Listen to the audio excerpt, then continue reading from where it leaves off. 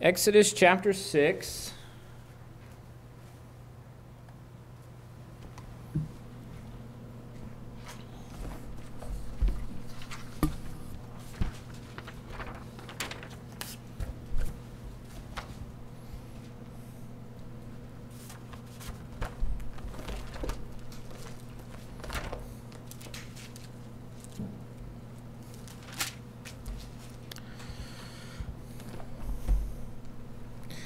Exodus chapter 6, we dealt with the idea of uh, suffering and the response to suffering in Exodus chapter 5 and 6 uh, last Wednesday and then in Sunday school. And uh, uh, as we, he brings in uh, through most of the chapter 6 a genealogy of Aaron and Moses uh, through Simeon and Levi and um, there. And then he goes, and, and as Moses is praying to the Lord, he goes to, to the Lord and he says, You know, how am I going to speak to Pharaoh? They're not, Pharaoh's not even listening to any of this. I'm uncircumcised. How's he going to listen to me? and in Exodus chapter 7, the Lord steps up and he begins to talk to Pharaoh to Moses and Aaron again and tells them to uh, pretty much uh, keep doing what you're supposed to be doing. And uh, chapter 7, verse 1, it says, And the Lord said unto Moses, See, I have made thee a god to Pharaoh, and Aaron thy brother shall be thy prophet. And thou shalt speak all that I command thee, and Aaron thy brother shall speak unto Pharaoh, that he send the children of Israel out of his land. And I will harden Pharaoh's heart and multiply my signs and my wonders in the land of Egypt. But Pharaoh shall not hearken unto you, that I may lay my hand upon Egypt and bring forth mine armies and my people the children of Israel out of the land of Egypt by great judgments. And the Egyptians shall know that I am the Lord when I stretch forth my hand upon Egypt and bring out the children of Israel from among them. And Moses and Aaron did as the Lord commanded, so did they. And Moses was fourscore years old, and Aaron fourscore and three years old when they spake unto uh, Pharaoh. And as the, the passage uh, begins to go down, Moses and Aaron step into Pharaoh's court yet once again, uh, telling uh, Pharaoh to let the children of Israel go. And um, uh, Pharaoh uh, doesn't take it, he doesn't allow it. And he says this, verse 8, it says, And the Lord spake unto Moses and Aaron, saying, Verse 9, When Pharaoh shall speak unto you, saying, Show a miracle for you. Then thou shalt say unto Aaron, Take thy rod and cast it before Pharaoh, and it shall become a servant. Uh, and so Moses and Aaron step into the, the, uh, the, the hall there, and uh, they begin to say, Let my people go. And Pharaoh refuses. Uh, and so Moses and Aaron, Aaron takes the rod that uh, uh, Moses had there and throws it down. And we know through the power of God that it becomes a, a, snake, it becomes a, a serpent there. but in the midst of this, Pharaoh, looking on at this, takes it and he calls up his magicians and uh, he says, Hey, you know what? I want you to do what they're doing. And uh, as we know through the story, that the magicians come up and uh, through sleight of hand, through black magic, through the power of Satan, whatever it is that they have there, uh, they are able to imitate uh, the, uh, the same uh, miracle that's going on. And then after that, the, what happens there is the, the serpent of, of Aaron or Moses' staff ends up eating all three of the, or all of the magicians' serpents that are there. but while at the same time, because of uh, the Pharaoh's magician's ability to uh, imitate what God is doing uh, through the, the power uh, through Moses and Aaron there, uh, Pharaoh's heart is hardened. And so they leave and then they come back the next day. Uh, God tells Moses, as you read through the rest of chapter 7, that you need to go out, and as Pharaoh is going to the Nile River, uh, you're going to meet him and you're going to once again tell him, Let my people go. And he says, If you don't, uh, then you are going to uh, strike out your hand and you are going to turn the Nile River into blood. And we know that that happens. Uh, Pharaoh refuses. Moses stretches out his hand there, and uh, the entire river and all the, the water round about there uh, turns to blood. And lo and behold, the magicians are able to come out and counterfeit the exact same thing. Not the exact same thing, but they counterfeit it and able to turn the water into blood. And I want to deal with this in two uh, areas here. And that first, looking at uh, the, the place of signs and wonders and miracles in the life of the nation of Israel, and then look at it uh, as well and, and, how Satan uses that. And we need to understand that the nation of Israel uh, began with signs. And uh, we're going to get to a verse in, in Mark chapter 16. Uh, in Mark chapter 16, verse 16, it says something along the lines of, And these signs shall follow them that believe. And then it says, uh, They will uh, drink no deadly, or they will be, drink something that's poisonous and it won't kill them. They'll be able to handle snakes and they'll be able to talk talk in new tongues and uh, they'll be able to heal, they'll be able to do cast out demons, those sort of things. And uh, that has been taken and adopted uh, by different denominations uh, all throughout the United States uh, to talk about apostolic signs and to talk about the sign gifts. Uh, most notably is the, the sign of tongues. That's probably what's used or, or picked on, used more than anything out of the signs. Um, but the idea of handling snakes, uh, that's a fun thing. If you get on YouTube, look up, uh, you know, snake handling churches. And uh, you can see in there, they're, they're the biggest bunch of fakers. Because the Bible verse says they can take up serpents and they're not going to get hurt. And you know what all of them do?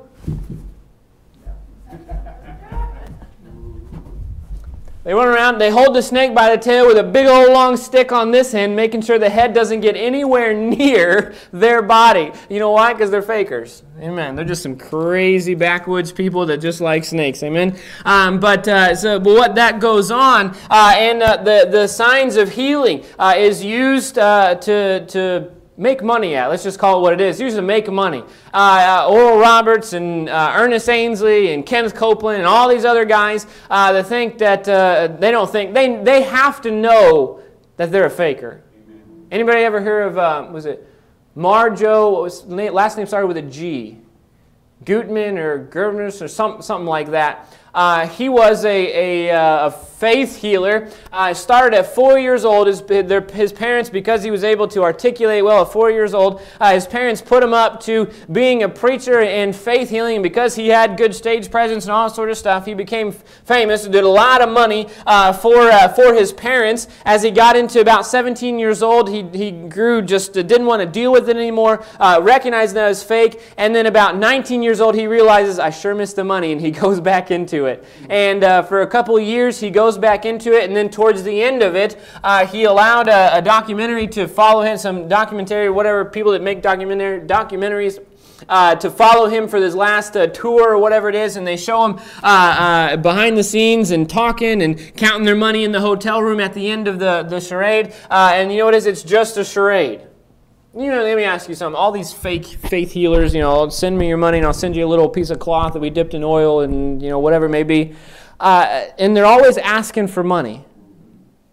Now, you tell me, what faith healer that knew that they could heal somebody would not step foot into a child hospital? And if you were to do that, walk up and down, I mean, you might have to run for your life from the hospital. They might want to, uh, you know, go after you. Uh, but I would, I bet if you could walk through that child ward and say, healed, healed, healed, healed, there'll be a whole bunch of parents say, well, how much you want? You would not have to ask for money if you were a true faith healer. But you know what they do is they, they, they, they beg and they cajole and they, they put on a great big show, uh, and it's used, and the verses that are used uh, talk about legitimate signs and wonders that are used by God. And so I want to look kind of just through the Bible about signs and wonders. What is it? Why are they there? What is it used for? But then also on the flip side of it, how it's counterfeited. And uh, so what we find out is Exodus chapter 4, Exodus chapter 7, all through the first about 15, 18 chapters of the book of Exodus, we find the nation of Israel begins with signs. Uh, they begin uh, with signs to confirm what God is saying, and uh, they uh, begin with signs, they continue with signs. Uh, in 1 Samuel chapter 10, uh, when Samuel goes and he begins to anoint Saul to confirm that Saul was the one that was supposed to be the next king of Israel, when he does that, Samuel says, This is going to be a sign to you that when you prophesy, and he lists out about two or three different things there, and what we find out is that Saul does that that and it confirms uh, what is going on. Uh, look at Isaiah chapter 38, verse 7. God uses through the Old Testament, and we would be here for, for days on end looking at all the times a miracle uh, or a sign happens uh, in the Bible. But God, first off, we need to understand what is the point of a sign? What is the point of a miracle? Be it healing, be it tongues, be it, uh, uh, uh you know, any of those things, drinking deadly poisons, all that. What is the point of a sign? Well, look at Isaiah chapter 38, uh, verse 7.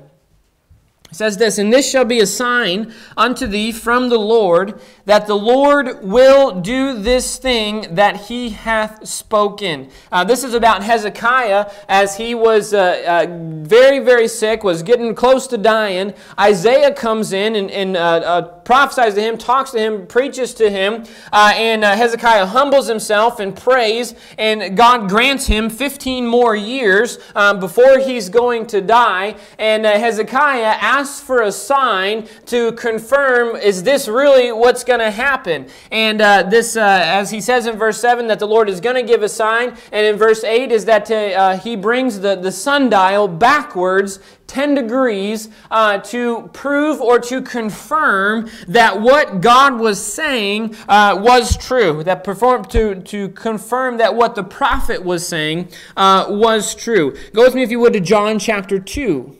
John chapter 2, we find out when Jesus Christ comes on the scene uh, that over and over again, the people, the Pharisees, the scribes, all of them, the nation of Israel, continually ask Jesus Christ for a sign.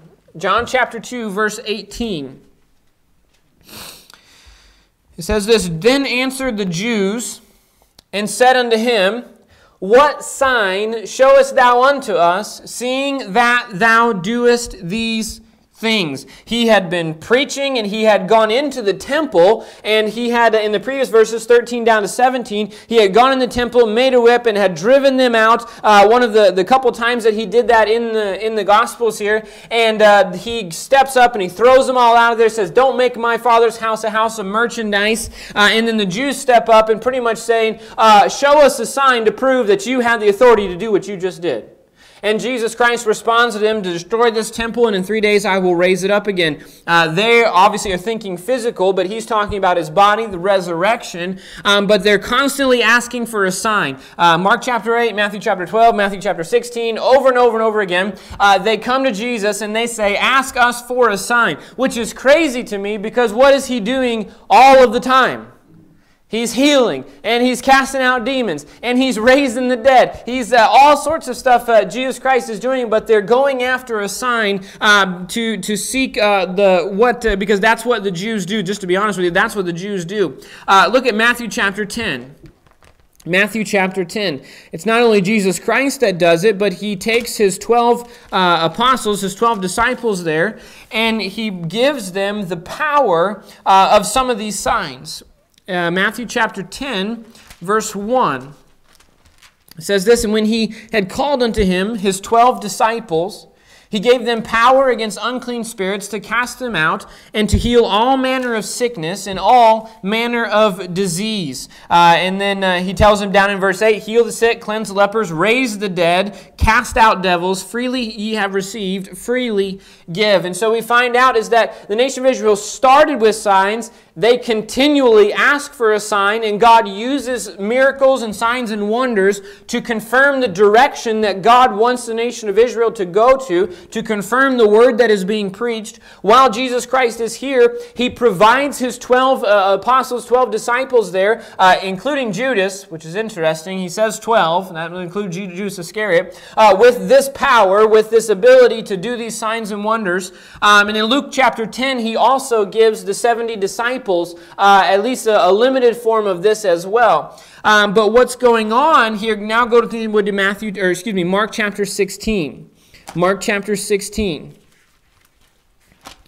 as Jesus Christ is, uh, has already risen from the dead, uh, he has uh, come out, he's spent the, the 40 days or so there uh, after he's, he's risen from the dead, and he's getting ready to leave. Uh, and after the, uh, right before that, he says in verse Matthew or Mark chapter 16, verse 14, it says, Afterward he appeared unto the eleven as they sat at meat, and upbraided them with their uh, upbraided them with their unbelief and hardness of heart because they believed not them which had seen him after he was risen and he said unto them, Go into all the world and preach the gospel to every creature. He that believeth and is baptized shall be saved, but he that believeth not shall be damned. And these signs shall follow them that believe. In my name shall they cast out devils. They shall speak with new tongues. They shall take up serpents. And if they drink any deadly thing, it shall not hurt them. They shall lay hands on the sick, and they shall recover. And then the Lord is taken up into heaven uh, in his ascension. And so the question is begged. Uh, why, we have to have one or two questions. Either signs and miracles are for us today, uh, and if so, uh, who's the one that's doing them? Or we have to recognize that uh, the position that I take, which I believe the Bible supports,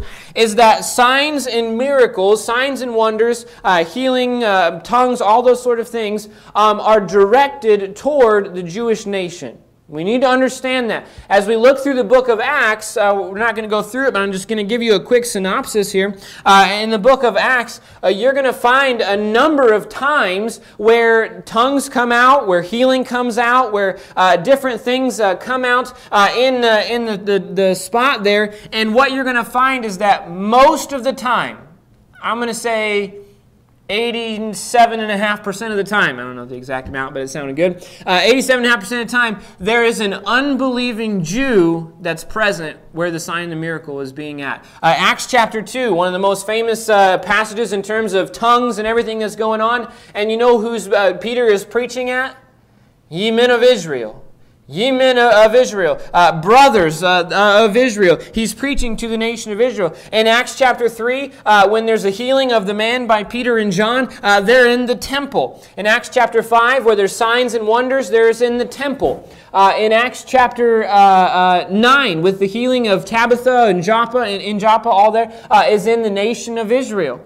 Uh, in Acts chapter 10 is one of the few times where there is a sign or a wonder, a miracle, uh, specifically tongues in this uh, fashion, where there's not a believing Jew present, or excuse me, an unbelieving Jew present or a Jew present. Acts chapter 10 deals with Cornelius. And Peter, uh, God gives him the vision of the great sheet coming down, and that you can eat anything, and that God is putting away the ceremonial aspects of the law, and that there's no difference between the Jew and the Gentile in the church.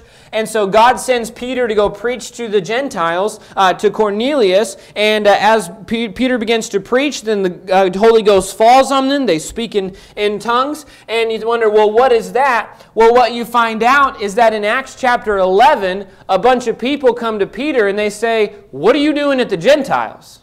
And you know what Peter says? I was preaching to him. God gave me the vision. I went to this. I preached, the, preached about Jesus Christ to him, and the Holy Ghost fell and tongues came down. And the church begins to realize, because of the confirmation of God with signs and wonders and miracles, that God is moving in a particular direction. Uh, in uh, Acts chapter 13, uh, Paul is able, uh, in, in uh, the last, really the last main time that you see signs and wonders and miracles happening is in Acts chapter 14, and again dealing with unbelieving Jews. And uh, anybody know what happens in Acts chapter 13? It's Paul's first missionary journey. And you know what you find through the rest of the book of Acts? Outside of Acts chapter 14, uh, where there's some unbelieving Jews present, uh, you don't find any more miracles with the exception of Paul getting his hand bit off. Now, God gets him out of prison. I understand that. God, you know, brings uh, uh, Paul and Silas out of the jail cell in Acts chapter 16. But as far as signs and wonders and miracles, uh, the only thing that happens is Acts chapter 28, where the serpent bites Peter, or Paul, and it doesn't, uh, uh, it doesn't kill him. It doesn't hurt him. Uh, other than that, the signs and the wonders begin to fade out from use in the book of Acts. Why? Because in the book of Acts, God is robbing Peter to pay Paul. He's taking going from Israel to the church.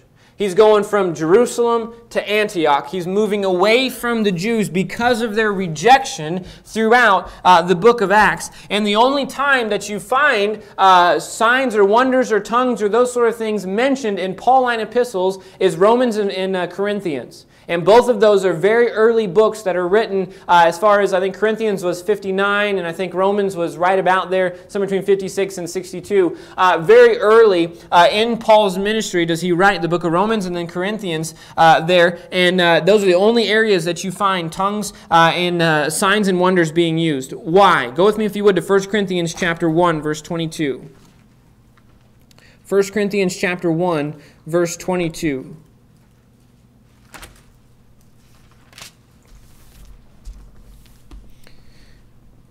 In the book of Acts, it moves from uh, uh, signs and wonders, uh, then it moves into the preaching of the gospel uh, by Paul uh, and uh, to the Gentiles. Why? Because in 1 Corinthians chapter 1, verse 22, it says this For the Jews require a sign, but the Greeks seek after wisdom. God is laying out a, piece of information here that is being backed up by all the rest of the Old Testament is that the Jews, in order to operate, they are hardwired, programmed uh, to ask for a sign and require a sign, and God gives them that as uh, they begin to, as, the, as He confirms His word. Uh, what you find out uh, is as Paul's ministry begins to, to go, uh, he even uh, loses a lot of sense of his is able to work miracles. Uh, in uh, 2 Timothy chapter uh, 4, uh, verse 20, uh, the Bible says that uh, the Bible says Paul left Trophimus, not Trophimus, 2 Timothy chapter 5. He left a guy who was sick because he wasn't able to heal him. 2 Timothy chapter 5, verse 10. I think it was Trophimus. Uh, let's see here. Uh, First Timothy, not Second Timothy. Where's his name at? It's in there, I promise. I believe it was Trophimus. I'll find the right verse. I don't know why it's. Um, it says, uh, I left him sick. Does anybody have it? What is it? Tyke, No. No, that's 12. Profitable to me is the ministry, the cloak I left, compromise did me much evil. There it is, verse 20, 2 Timothy 4.20. It says this, Erastus abode at Corinth, but Trophimus have I left at Miletum sick. Well, we know 2 Timothy is written later uh, in Paul's uh, uh, ministry, about 66 AD, somewhere in there, late 60s AD, and Paul's ability to do signs and wonders has gone away. Uh, I mean, how he must have really not liked the guy if he could heal him, but he says, You're out of here, I'm leaving you sick. Uh, why? He wasn't able to do it uh, because those things were moved away because Paul was going to the Gentiles primarily at the end uh, of his ministry. Uh, and in fact, as Paul writes in 1 Timothy chapter 5, uh, he tells uh, first he tells Timothy a verse that every drunk knows, take a little wine for thy stomach's sake. Why didn't Paul just heal him of whatever gastrointestinal diseases he had going on? Because he didn't have the ability, because those signs and wonders and miracles were primarily for the Jewish nation.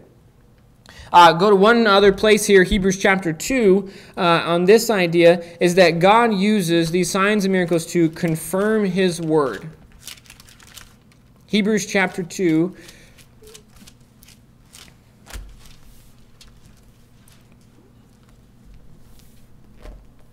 Verse 3 and 4 it says this How shall we escape if we neglect so great salvation, which at the first began to be spoken by the Lord, and was confirmed unto us by them that heard him?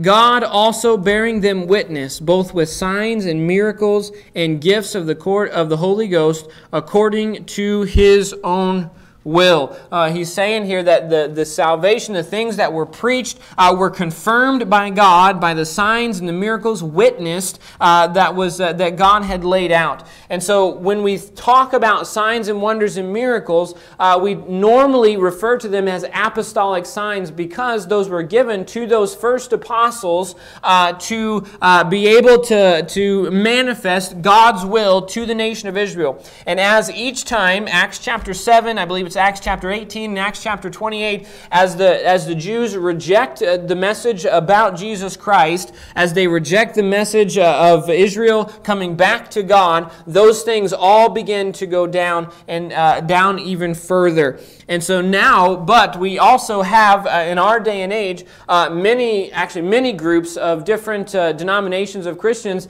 that will use most prominently the gift of tongues to really they'll, they'll say that if you're if you haven't spoken in tongues and you haven't received the Holy Ghost, so therefore uh, you're not saved. Uh, go with me if you would to 1 Corinthians chapter 14. A lot of times, if you talk to somebody about the use of tongues, you're not going to be able to uh, you know, run them through all these verses and show them through the book of Acts and do all these different things. Um, so what I, how I deal with people about this idea of signs and wonders and miracles and tongues uh, is that, you know what, I'll grant it to them. I said, okay, if, if you want to say that, that tongues are for us, absolutely, let's talk about that. Uh, does the Bible show us what should be done, done with tongues? And the modern charismatic tongues movement will not know the one chapter in the Bible that lists out tongues. All right? And that's 1 Corinthians chapter 14, uh, verse tw- uh, down from about oh, verse 22 uh, down through the end of the chapter here, is he gives out the guidelines for the gift of tongues. Look at 1 Corinthians 14, 22. It says this Wherefore, tongues are for a sign and if you have uh, margins in your Bible there, uh, take a pen and write 1 Corinthians chapter 1 verse 22 that says, "Wherefore the Jews require a sign, not the Greeks." It says, "Wherefore tongues are for a sign not to them that believe, but to them that believe not." So why is it first off, if tongues are for us, why are tongues being used primarily to quote unquote believers in a church? Well, already strike one. They're not being used how uh, they say it. Um, but uh, so here's what it, here's what it says here. Uh, verse 27. It says this. This is how tongues. If we were to start a tongue service next Sunday, we say we're going to have a tongue speaking service, and we're going to do it according to the Bible. This is how it should be laid out. Uh, verse 27. If any man speak in an unknown tongue. Notice it doesn't say uh, uh, other tongue. It doesn't say uh, a heavenly language. It just says unknown. Okay? Uh, and what you'll also find is that every time tongues are used in the Bible, it's never gibberish. It's always somebody speaking and somebody hearing them in their own language. That's, that's the idea of tongues. But anyway, verse 27 If any man speak an unknown tongue, let it be by two or at most by three. So if we're going to have a tongue speaking service, uh, only two or at most three people would be able to participate. All right, that's the first thing. And that by course. What does that mean? That means you got to take turns. Okay? And then he says this, and let one interpret. It says, But if there be no interpreter, let him keep silence in the church and let him speak to himself and to God. So, what God is saying is that if you're going to have tongues, uh, which I believe are not for us, but okay, if we're going to do it, then only two or three people at one time can do it. Uh, they have to take turns, and there must be an interpreter to give the message to edify the church.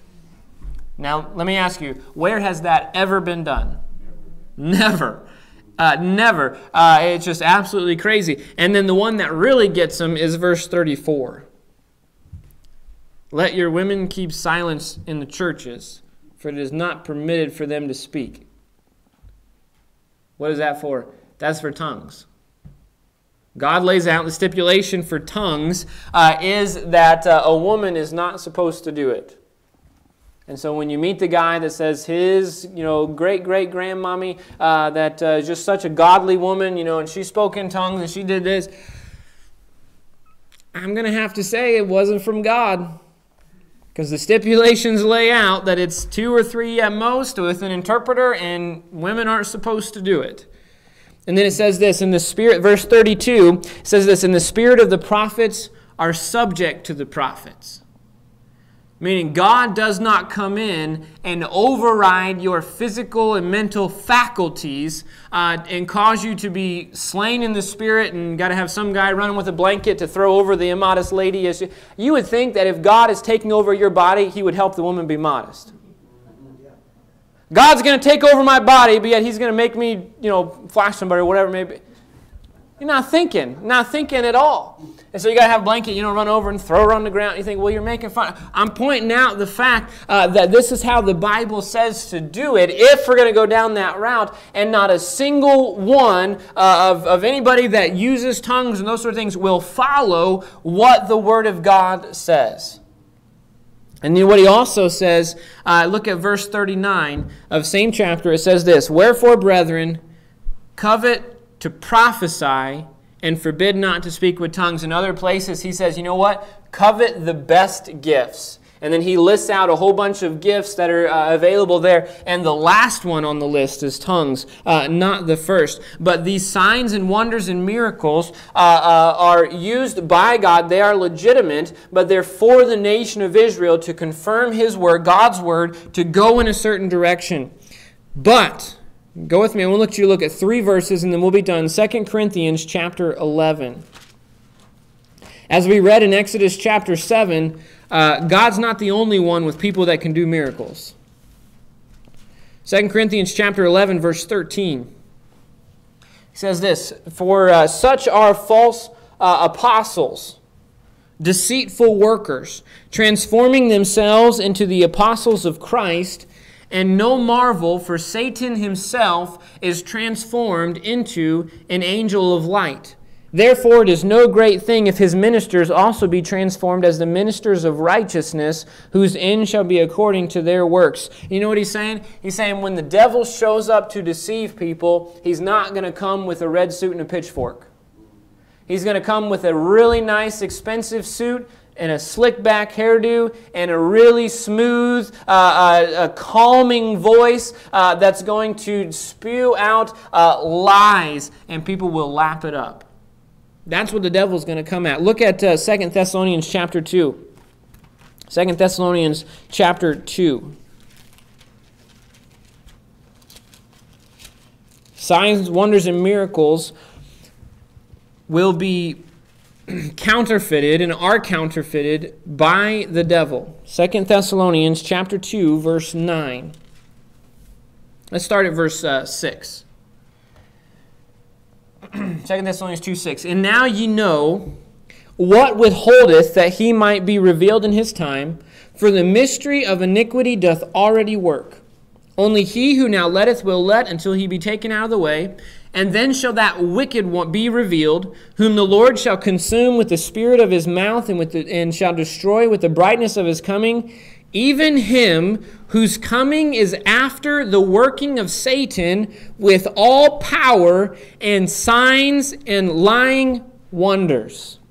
You know what? When the devil shows up on this scene, when the church is taken out of here, when the Antichrist comes in, uh, uh, you know what? Uh, you know what he's going to come in with? He's going to come in with signs and wonders. Why? Because he's, he's going to want to take that nation of Israel, that Jew, and sign a peace of. You think about this. All you know, all these people talking about the Antichrist and you know yada yada yada yada. Uh, who it's going to be? Uh, you have have.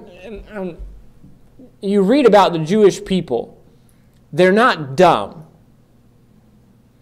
I mean, normally, regularly, uh, most of the time, in the highest people in different areas are Jewish people.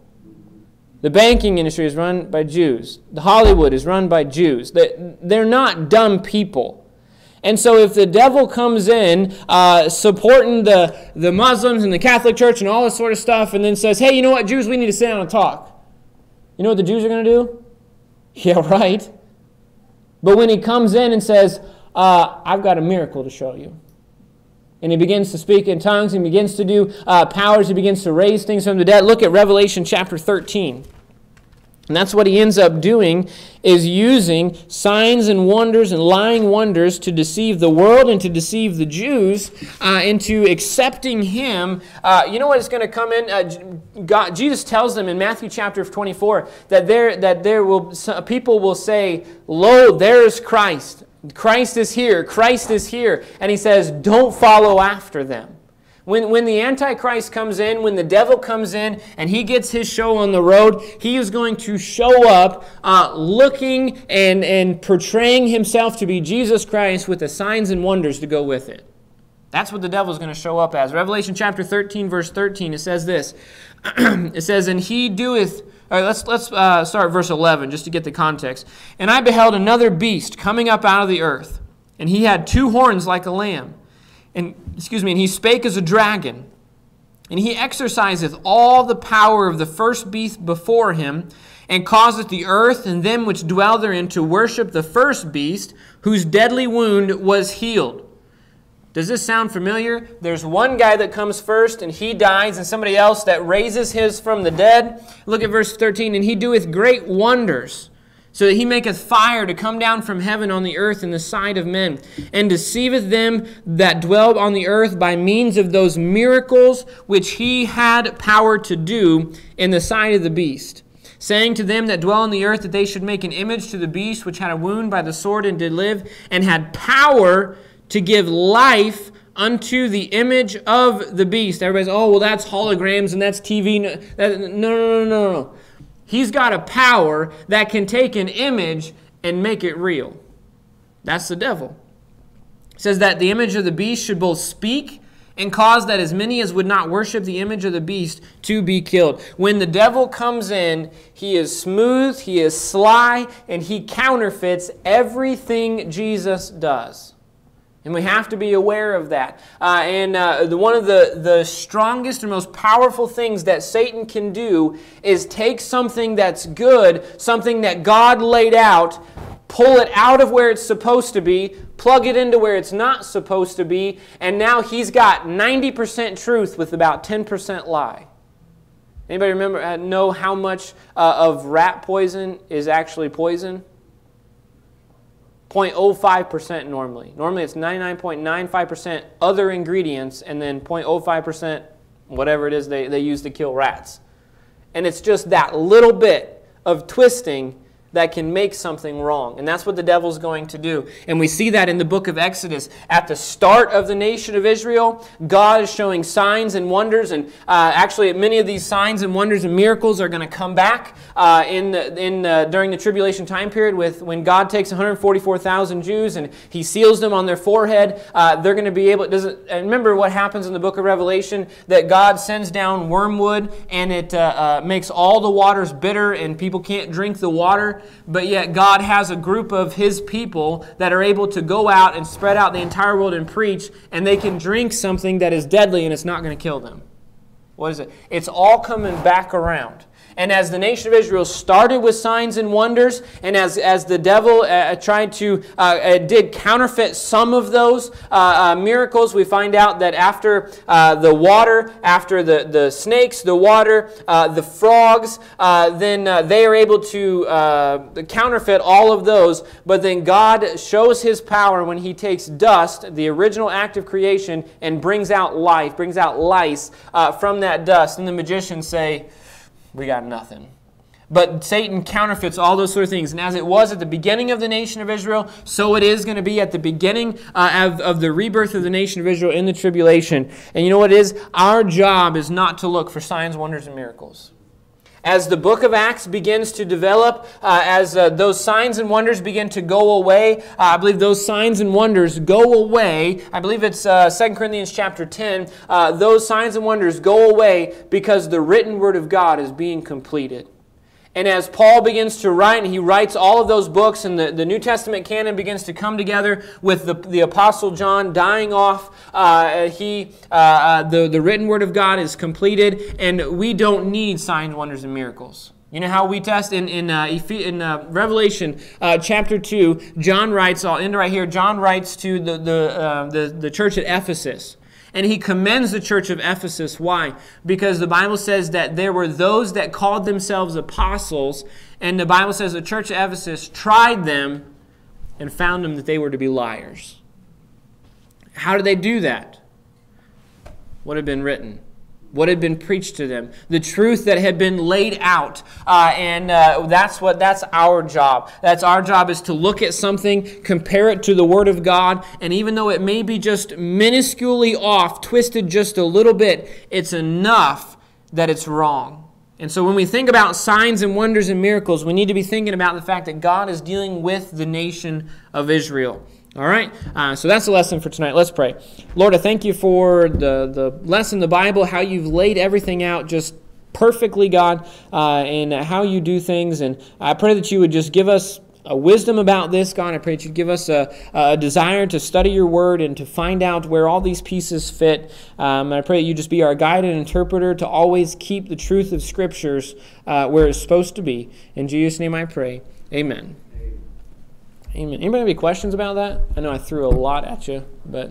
You mentioned about the, you know, the word says unknown tongues, it's Mhm. in italics, Mm-hmm. and that's not supposed to be in the original. you know, Mm-hmm. And they kinda added that for clarity, but they use that for, um, to say it's an unknown tongue like this, it's, it's not a literal language, and that's where they get up with that, with that gibberish. and that. Right.